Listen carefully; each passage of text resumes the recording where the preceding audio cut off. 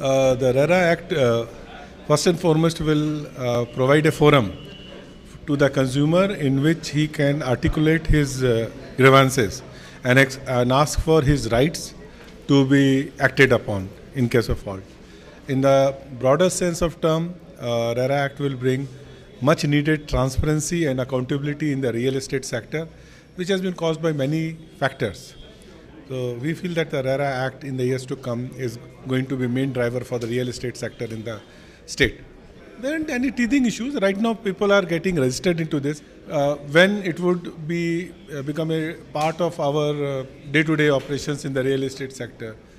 Well, I think in the next six months it should come down because it's a transparent measure. By and large, uh, many of the realtors as well as have uh, accepted it, and it will also give a touchstone for the public to see for a project whether it is compliant or not. So, I think it will be driven more by the demand and should settle down in in a couple of months.